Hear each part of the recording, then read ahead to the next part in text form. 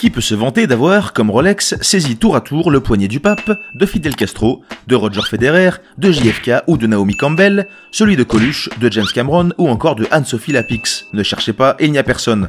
Rolex incarne cette quête du beau et de l'intemporel aux yeux d'une immense majorité de personnes, issues des horizons les plus diverses, et c'est là son tour de force. Fruit d'un goût exacerbé pour la technique et d'un talent visionnaire pour le commerce, les montres Rolex suscitent souvent l'adoration ou le rejet de ceux qui ne comprennent pas cette démesure. Entre les fans et les détracteurs, un grand nombre d'amateurs d'horlogerie sont conscients de l'aboutissement que représentent ces objets produits en toute indépendance depuis plus de 110 ans. Aujourd'hui, lecalibre.com vous présente la fabuleuse histoire de Rolex. Ensemble, nous allons voir les origines de la marque, sa stratégie et ses différents modèles. On finira avec des chiffres assez étonnants en rapport avec la marque et en vous dévoilant le secret qui se cache derrière ces références. L'histoire a débuté en Bavière dans les premières années du XXe siècle avec la formation commerciale du jeune Hans Wilsdorf. Orphelin, il s'exile en Suisse où il intégrera un négoce d'import-export de montres de poche durant deux ans avant de partir pour Londres, place commerciale en ébullition.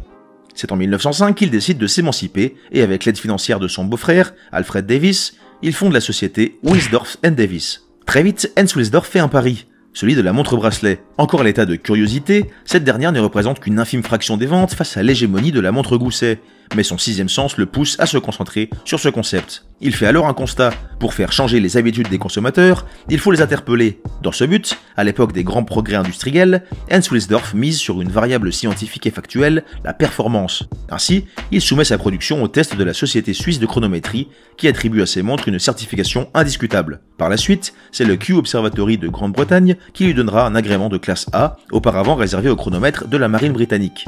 Ainsi, l'entrepreneur jette les bases d'une fabrication technique fiable et de qualité. Le nom de Rolex est enregistré pour la première fois en 1908, bien qu'il ne soit inscrit progressivement sur les produits que sous l'appellation Wilsdorf Davis Rolex. Questionné des années plus tard sur les origines du nom Rolex, Hans Wilsdorf a expliqué qu'après de longues recherches, c'est finalement un matin, dans un omnibus de Londres, qu'un esprit lui avait susurré le nom à l'oreille. Une sorte d'épiphanie inattendue qui marquera le monde horloger à jamais. C'est en 1915 qu'il s'affranchit de toute mention annexe, la raison sociale de l'entreprise évoluera de The Rolex Watch Company à Montre Rolex SA en 1920 un changement symbolique qui sera suivi peu après du déménagement du siège social à Genève. Cette délocalisation est largement motivée par l'explosion des droits de douane qui augmentent de plus de 30% sur les produits d'importation afin de contribuer à l'effort de guerre en Grande-Bretagne. À cette époque et depuis le début de l'aventure, c'est en effet la société Jean Eigler, homonyme de l'horloger qu'il a créé en 1873, qui fournit à Rolex ces fameux mouvements certifiés, les plus fins et robustes sur ce marché encore balbutiant. À ce jour, les deux entités travaillent toujours de concert, même si elles sont désormais réunies sous la même bannière, verticalisation de la production oblige. Avant de découvrir la gamme de Rolex et de se pencher sur quelques chiffres impressionnants, découvrons certaines des innovations qui font partie de la recette de son succès.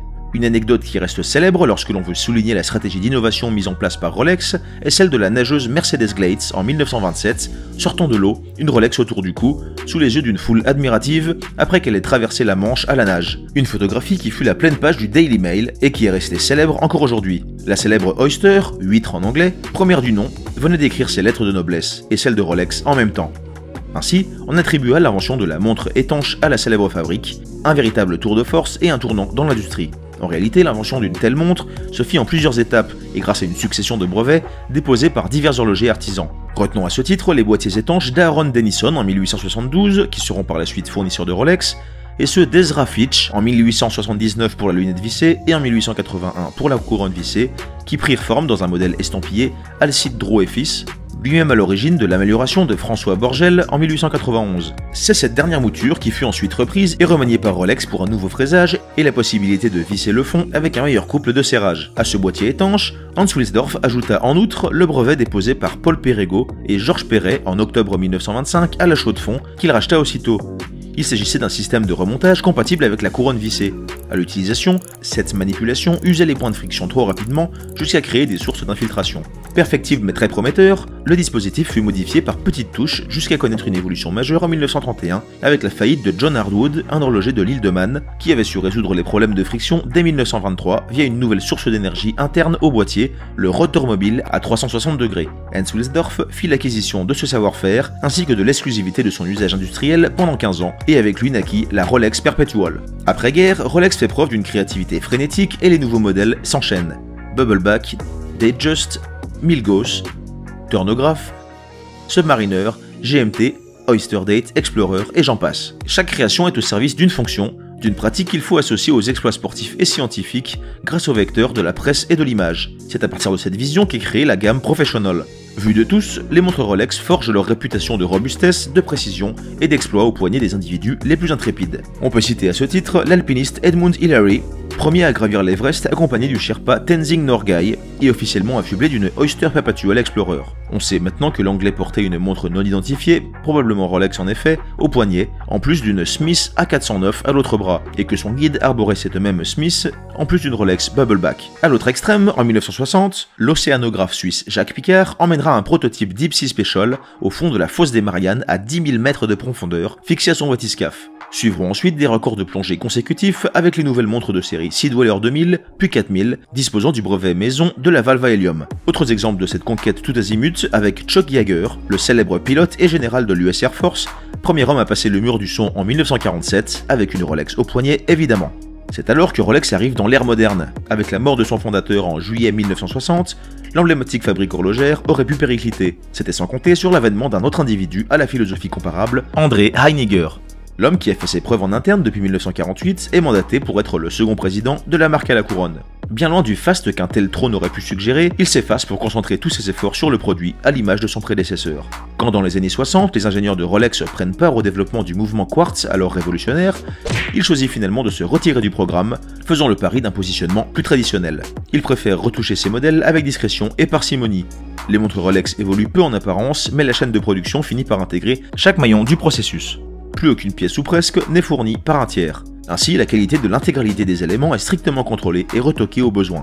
À la fin des années 90, André passe le flambeau à son fils Patrick, alors que l'histoire valide déjà son succès. Rolex a relevé avec brio le défi de la technologie et celui de la mondialisation sans faire aucune concession sur la qualité, l'image ou l'homogénéité de ses produits. Bien que toujours discret en apparence, le triomphe est total, puisqu'à celui d'une omniprésence sur le secteur du luxe mondial, il ajoute une aura mystérieuse inspirée par l'opacité et la constance de sa communication. Grâce à sa forme juridique particulière et à la législation suisse qui lui permet de ne pas payer d'impôts, la marque est propriétaire de la fondation Wilsdorf, tout en facilitant les opérations de mécénat, et ce sans communiquer ses performances financières, la manufacture limite ses interventions à des causes nobles ou scientifiques avec une imperturbable régularité. La gamme Rolex est vaste et pas toujours évidente à appréhender pour les néophytes. Suivez-nous et découvrons comment s'y retrouver. Nous l'avons vu avec la Oyster, la stratégie Dance Wilsdorf basée sur les exploits humains a posé les jalons d'une communication simple, précise et toujours d'actualité grâce aux histoires écrites dans les premières décennies de cette épopée industrielle. Si aujourd'hui, les montres mécaniques peuvent sembler obsolètes dans de tels cas de figure, l'empreinte du passé sert toujours les ventes avec une différenciation des modèles qui débute par l'utilisation d'un patronyme évocateur pour chacune d'entre elles. Voici un tour d'horizon non exhaustif du catalogue la Perpetual Air King. Remise au goût du jour en 2016 avec la version 116-900, elle fut longtemps associée au pilote.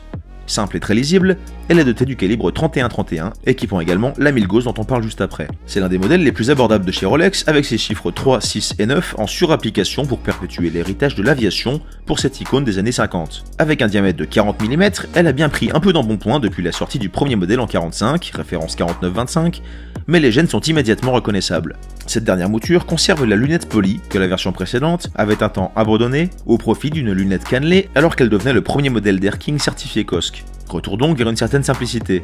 Le Brest Oster, au confort éprouvé, achève d'habiller cet objet intemporel. La Explorer 1 et 2.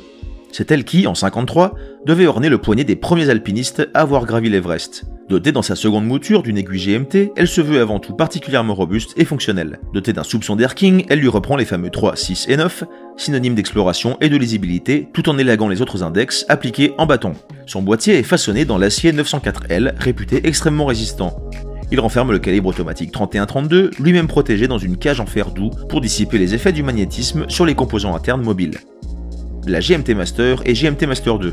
Avec sa lunette céramique bidirectionnelle façon Pepsi, celle qui était à l'origine destinée aux pilotes de la Pan American Airways, grâce à ses deux fuseaux horaires, a opéré un retour remarqué à Bâle en 2018. Née en 54, elle marque aujourd'hui le retour du bracelet jubilé et adopte un design légèrement remanié pour les cornes et le protège-couronne. Pour le reste, elle se part d'un affichage entièrement luminescent, qu'il s'agisse des fameuses aiguilles Mercedes, de l'aiguille GMT ou des index figuratifs. Le célèbre Cyclope à 3 heures met en valeur le guichet de date. Elle est équipée du calibre 3186 et son spirale en panachrome bleu. On vous prépare d'ailleurs une vidéo dédiée à la GMT Master et GMT Master 2.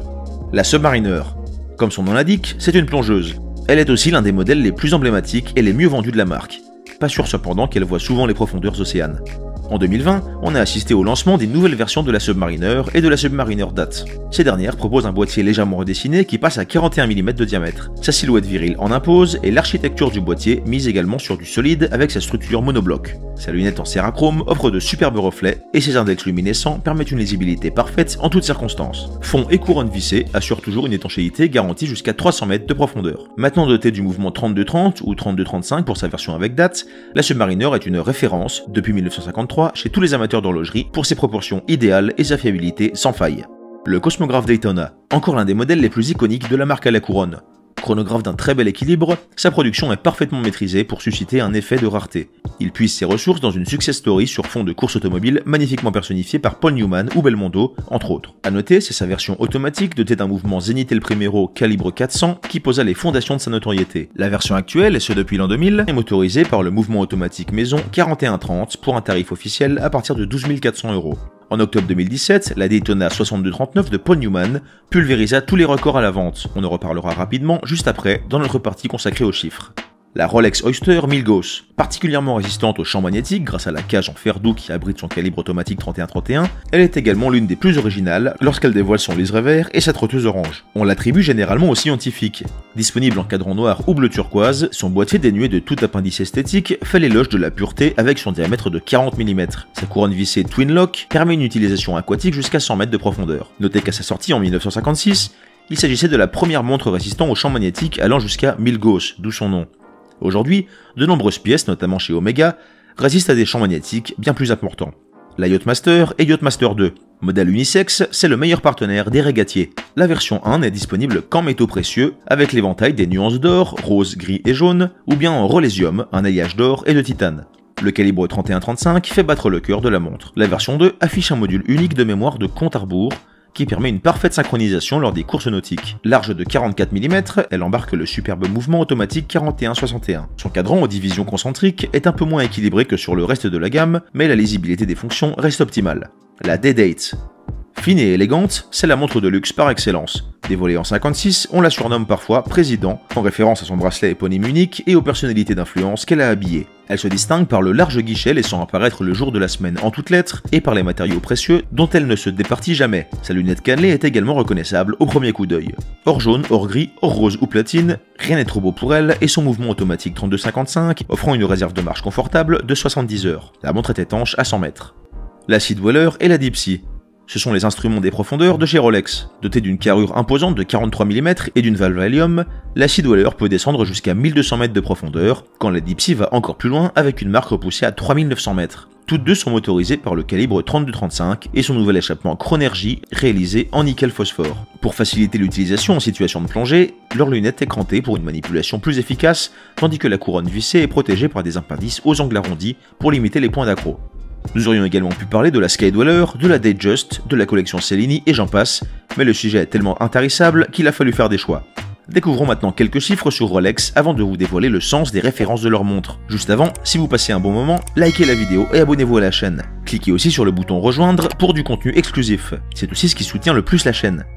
5 milliards 200 millions, c'est l'estimation en francs suisses du chiffre d'affaires 2020 pour Rolex, en première position des marques horlogères devant Omega avec 2 milliards 355 millions et Cartier avec 1 milliard 837 millions. 1 million, c'est environ le nombre de montres Rolex vendues en 2020 dans le monde. 420, c'est une estimation du nombre de brevets déposés par la marque depuis sa création. 17 752 500, c'est le prix en dollars de la montre Rolex la plus chère de l'histoire, une Rolex Daytona avec une inscription gravée au dos Drive Carefully, Me. Cette montre a été offerte à Paul Newman par son épouse, l'actrice Joanne Woodward. 23,4%. C'est ce qui correspondait en 2019 à la part de marché mondiale de Rolex sur le marché de l'horlogerie suisse. Comme promis, voilà comment déchiffrer les références d'une Rolex. Avec une production proche d'un million de modèles par an et des références qui se multiplient depuis des décennies, pas facile de reconnaître un modèle exact de chez Rolex pour les néophytes.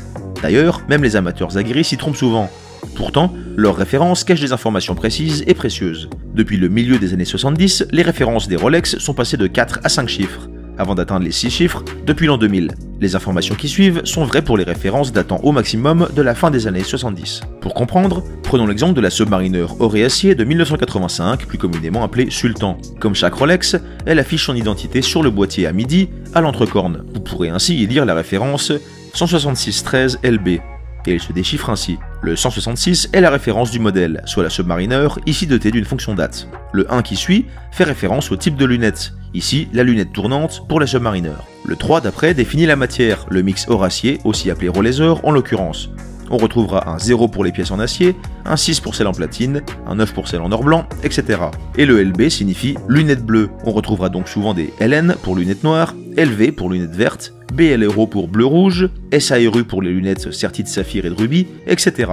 Vous savez tout. On vous met ici à gauche un autre épisode Rollo Story et à droite une vidéo qui devrait vous plaire. Abonnez-vous à la chaîne pour nous soutenir et à bientôt sur lecalibre.com.